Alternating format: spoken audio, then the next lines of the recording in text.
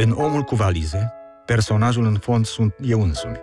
Sunt adolescența, copilăria mea chiar. Proiectez acolo conflictul pe care l-am avut cu tatăl meu. Căutarea care animă piesa este aceea identității mamei mele și a bunicilor mei, căutarea propriei mele identități. Este de asemenea un coșmar, acela al țării în care m-am născut și unde, după o copilărie petrecută în Franța, mi-am trăit tinerețea. Toate acestea, conflictul cu familia mea, prezența totalitarismului, se regăsesc în piesă.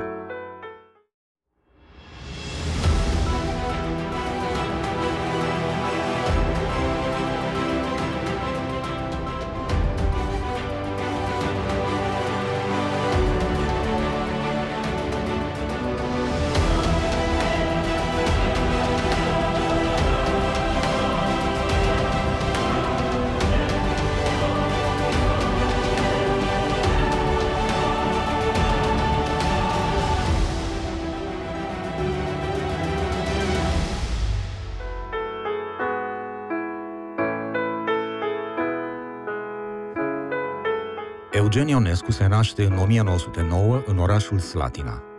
Tatăl scriitorului Eugen N. Ionescu, avocat. Mama, Marie Thérèse Ipcar. Je m'appelle Ionescu, comme mon père.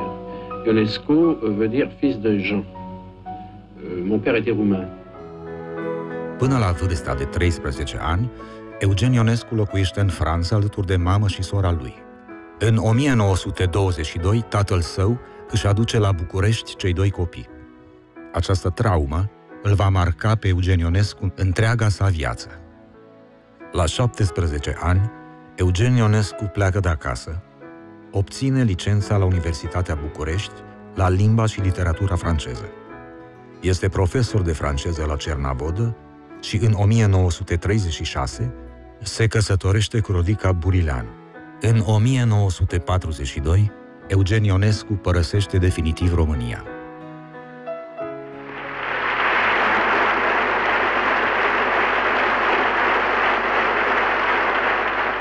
Maître, mon cher Eugène, vous nous aviez promis de venir à cette soirée et vous êtes venu. Décidément, vous nous étonnerez toujours. Disciple de Lupasco, dont le nom rime curieusement avec le vôtre, vous conciliez la logique et la contradiction sans difficulté apparente. Ainsi, vous fuyez les mondanités, mais n'en manquez aucune. Vous méprisez les honneurs, mais vous les recevez tous. Vous possédez un habit vert très saillant, un bicorne, une épée, mais vous siégez à l'académie sans cravate. Vous insultez la grammaire, vous martyrisez le vocabulaire à l'occasion et vous avez votre photo dans le petit Larousse illustré. Depuis 40 ans, vous êtes l'enfant terrible de la littérature et de la vie parisienne, celui dont on se demande toujours quelle nouvelle blague il nous prépare.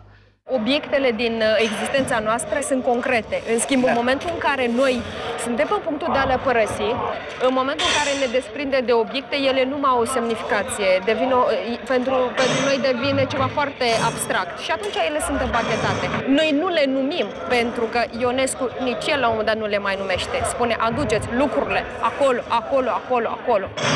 Dacă obiectele iau, uh,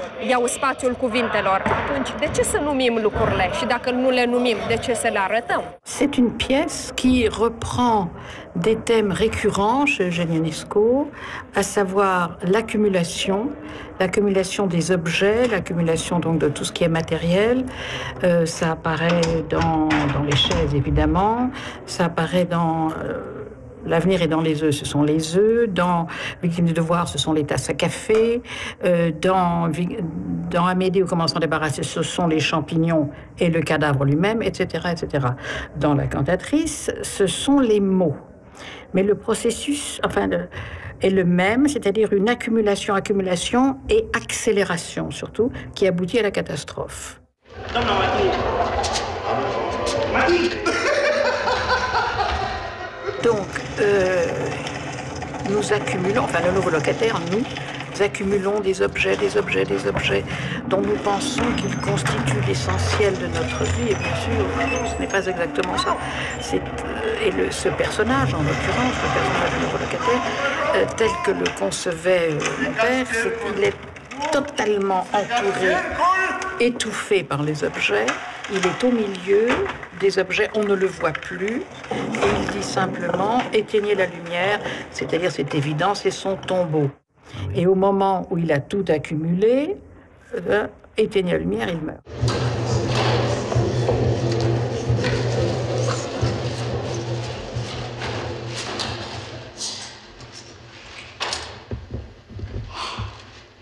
La Ionesco, ajungând, am auzit că m-a întrebat exact ce i-a întrebat pe foarte mulți români care au trecut pe la el.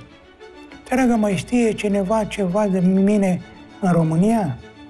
Și am zis, cred că i-am spus, maestre, chiar dacă nu-i plăcea, zic, știți, teoria mea este că orice român a reușit să scape din țară, a schimbat ceva în, în istoria artelor a lumii. Je pensais à faire n'importe quoi sauf à faire du théâtre. Parce que j'ai toujours détesté le théâtre. Euh, surtout un, un, certain théâtre. Et finalement, je me suis aperçu qu'en effet, ça n'était qu'un certain théâtre que je n'aimais pas. Qu'est-ce que vous n'aimiez pas? Je n'aimais pas euh, le théâtre de boulevard et un certain jeu conventionnel, un certain jeu faux, qui faisait que oui, j'avais vraiment l'impression de ne pas assister à une, œuvre d'art, c'est-à-dire à, cette euh, euh, métamorphose, à, cette, une transposition du réel. Mon père disait, euh, si mon œuvre, si elle intéresse encore les générations à venir, bien sûr, il y aura d'autres mises en scène, mais c'est ça tout l'art de la mise en scène et le mystère de la mise en scène. C'est que ce n'est la pièce à ce moment-là, pour citer une phrase célèbre, n'est jamais ni tout à fait la même, ni tout à fait une autre. Il faut qu'elle soit. Mon père avait cette phrase en disant Bien sûr, il y a un nombre fini de mises en scène possibles, mais un nombre fini, ça peut voilà dire 18 495 800. mais il ajoutait Il y a un nombre infini de mises en scène stupides. Pour qu'une œuvre d'art soit tout à fait euh, vraie, il faut qu'elle parte du réel et qu'elle le transforme. Les auteurs de théâtre depuis 100 ans, mettons, ils ont le grave, défaut d'être ou des idéologues, ou des essayistes, ou, euh, ou des littérateurs, ou des poètes. Ils n'ont pas compris une chose, c'est que la nuance va, ne, va, pas au théâtre. Euh, le théâtre, c'est le gros effet. Et plus il est gros, plus il est vrai, plus il est efficace, n'est-ce pas? Alors, le théâtre est dans cette simplification extrême. Il ne peut pas y avoir un théâtre de nuances. Eu cred că el a căutat, de fapt, esența teatrului.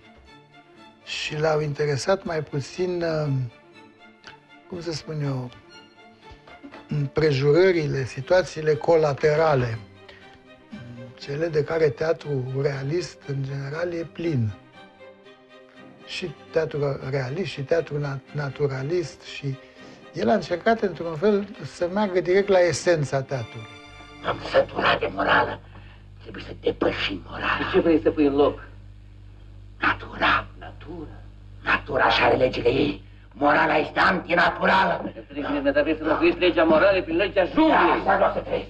Așa mă simt bine. Orbe, fond nimeni... Trebuie să reconstituim temeliile vieții noastre. Să ne întoarcem la integritatea primordială. În ce constă de fapt absurdul la el? Într-o reducere la absurd a situațiilor scenice și dialogate.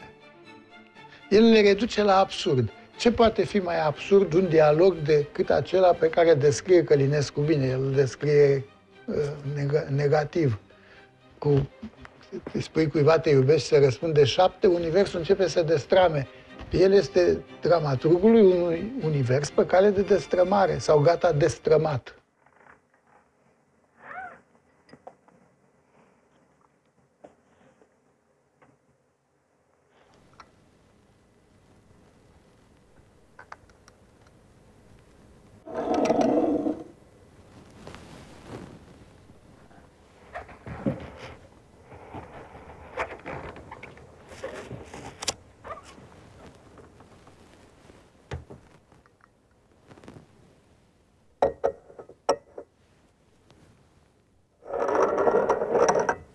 Mă scuzați, doamnă, dar am impresia că ne-am mai întâlnit undeva.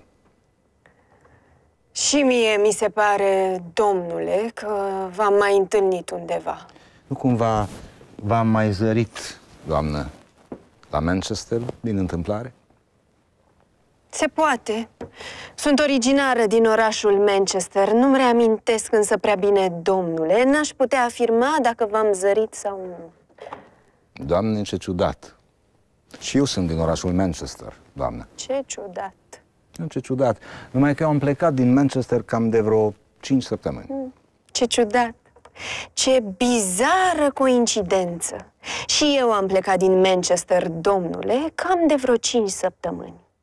À 24 ans, je suis devenu professeur de français dans un lycée de Bucarest.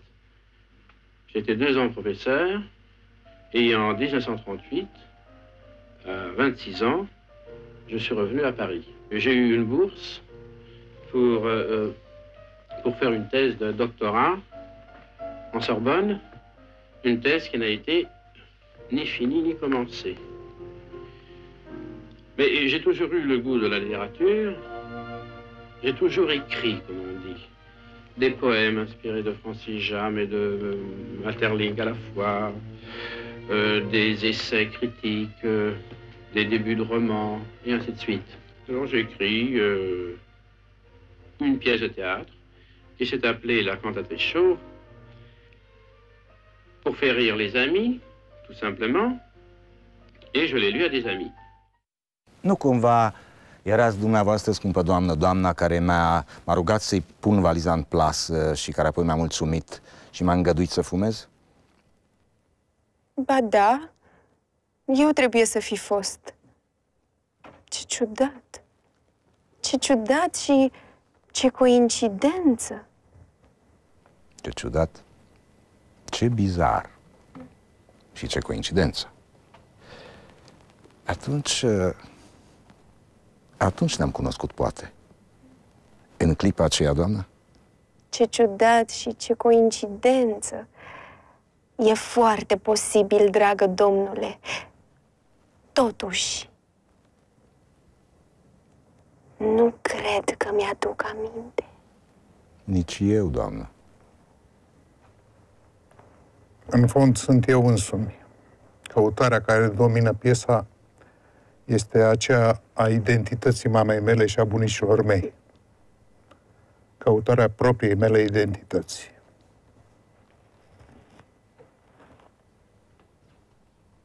Deci în ziua în care nu ne mai preocupăm dacă Ionesco e oltean din latina sau francez sau jumătate evreu și luăm numai opera lui. Faptul că existențialismul, tetrairismul românesc e pe premergător existențialismului din Franța și dacă ne preocupăm mai mult de el că s-a declarat cu Coran după mineriada de la noi și de faptul că, precum Pascal voia să aibă un dialog viu cu Isus, asta este un lucru infinit mai important decât dacă facem nunți la Târgu Jiu sub poarta țărotului sau nu. Și-mi place plăcere să văd români, fiindcă am fost atâta timp neromân și am neiubit atâta timp România, că acum mă simt din nou frate cu ei. Era un copil mare, Ionescu de altfel este singurul scriitor european, mondial zic eu, care avea dreptul să pună întrebarea aceea uluitoare într-un interviu, să se uitam în, în prim plan și a întrebat aproape în lacrimi de ce trebuie să moară omul, de ce trebuie să murim noi. Trebuie să ai toată opera lui în spate și experiența lui de viață ca să poți pune întrebări de acest gen care sunt ca niște ruperi de catapetisme în omenire. Je vous suis, monsieur. Tout en restant assise. Comme vous, monsieur. Bon, arithmétisons donc un peu. Oui, très volontiers, monsieur. Cela ne vous ennuierait pas de me dire... Euh, du tout, monsieur, allez-y. Combien font rien? Un et un font deux. Mais c'est très bien, vous paraissez bien avancé dans vos études. Vous aurez facilement votre doctorat total, mademoiselle. Ah, Je suis bien contente, d'autant plus que c'est vous qui le dites. Poussons plus loin. Combien font deux et un Trois. Trois et un Quatre. Singura acțiune care mi se pare posibilă în favoarea umanității este rugăciunea. Și atunci să te rogi. Care credeți Trăiești că în e? afara de istorie, dar te rogi lui Dumnezeu. Ce rezolvă rugăciunea? Dumnezeu știe dacă Dumnezeu o rezolvă. O Credeți în, rezolvăm în măsura puterilor noastre. Ne rugăm. credeți în puterea rugăciunii? Aș vrea Dumneavoastră vă rugați? câteodată. Îmi pare într-adevăr nespus de rău că vă deranjez. Nu ne deranjați deloc. Știți, este vorba de ceva... Ah, este vorba de ceva extrem de simplu. Dar poftește înăuntru. Vi vă rog amabil, intrați în casă, domnule? Ah, nu, nu, aștepte. Soția mea vă roagă să intrați în casă, domnule, vă rog. Soțul meu și cu mine vă rugăm să intrați, dragă domn. Doamnă, îmi dau seama că nu am timp, am și întârziat, știți? Are ceas de aur. Aș fi băgat de seamă care ceas de aur, vă rog. Da, în sfârșit, pentru 5 minute, deoarece stăruiți, Da? am... A, nu, ce? Trebuie... Nu, nu, nu, Păi nu, nu, domnule, vă rog, vă rog, vă rog, vă Da, rog. da, da, da, rămân. Rămân, dar cu condiția să mă lăsați să plec numai decât. Vroiam să fiu un monah într-o mănăstire și să nu mă rog decât lui Dumnezeu. Dar am căzut. Cum am, făcut, am, am spus într-o piesă a mea, Victim de Dovar, m-am prăbușit. Dar am avut totuși această imensă compensație. Fata mea și nevasta mea. Faci câțiva pași. Sunt la picioarele muntelui. Pornește! Mă cață. Mă agăț. Urcă, urcă! Urcă de urcă, ți se spune să urci dacă poți, dacă poți. Alunecă! Mă găs de mă răcin de pe picioare. Mă cață de apușile. Ah, nu suport altitudinea! De ce trebuie să urc într-un amunț? De ce trebuie să fac întotdeauna imposibilul? E imposibil, sunt vorbele lui. E sete, pe cal, transpir! O să vă mire această piesă pentru că nu este o piesă realistă. Dar dacă această piesă nu este realistă, nu înseamnă, după părerea mea, că nu este o piesă, cum să spun, o piesă adevărată. Pentru că uh, realitatea nu este realistă. Realismul, ca și simbolismul, ca și romantismul, ca și expresionismul și așa mai departe, realismul este o convenție, un stil, o școală.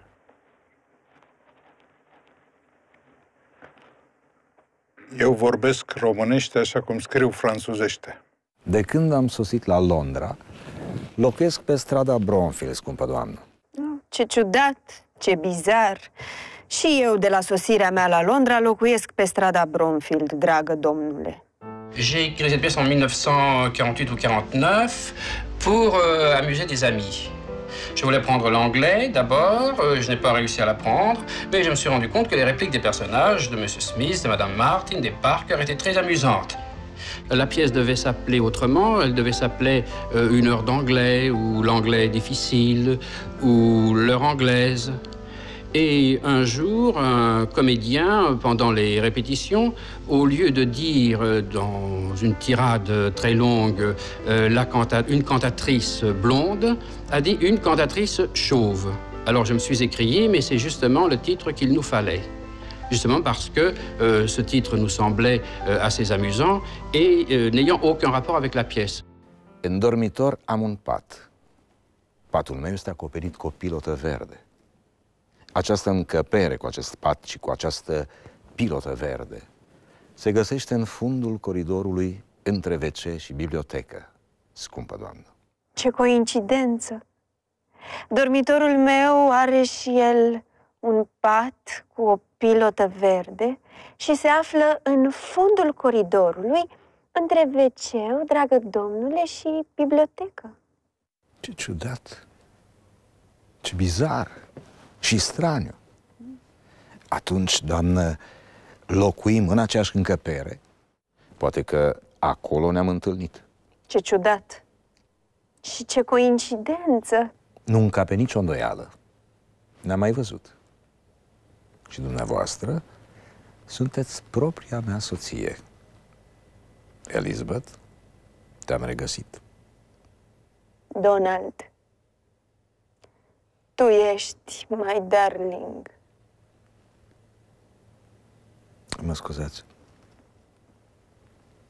Dar poate că n-am mai văzut undeva.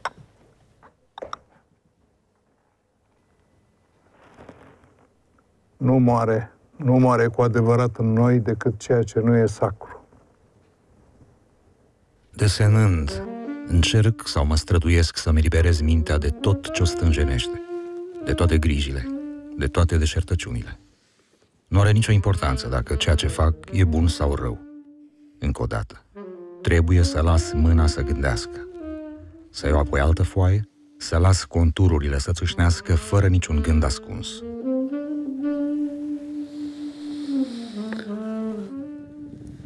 A născoci forme sau a încerca să născocești forme și intervale. Asta nu înseamnă nimic.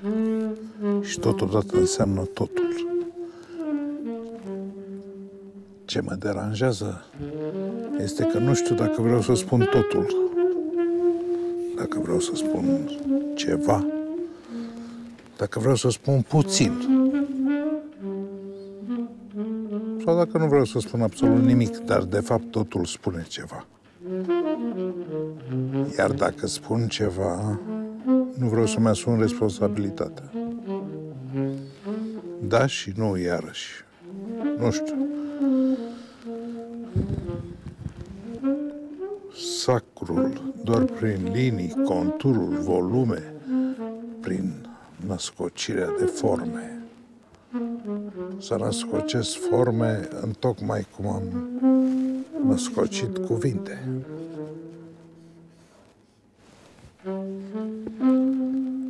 Nu moare. Nu moare cu adevărat în noi decât ce nu e sacru. On ne peut pas le changer actuellement, ni plus tard. Il est inchangeable. Plus nous avançons dans le temps, nous voyons bien que nous sommes entourés et écrasés par des catastrophes. Et ça n'ira pas mieux jusqu'à l'Apocalypse. Alors comment il faut vivre? Il faut vivre dans la croyance. Il faut vivre dans la contemplation. Parce que le monde est à la fois horrible et superbe et divin. La contemplation ne fait pas de mal. Ce n'est pas la politique. On vit dans la contemplation. Parce que, comme je le disais, nous sommes détachés de toute métaphysique. Pour moi, tout homme, euh, tout homme est, est une sorte de roi qui est au centre de, l'univers. Euh, L'univers lui appartient jusqu'au moment où, évidemment, tout cela euh, s'écroule. Orice om este un rege, iar unul din regii teatrului a fost timp de rugăciune Eugen Ionescu.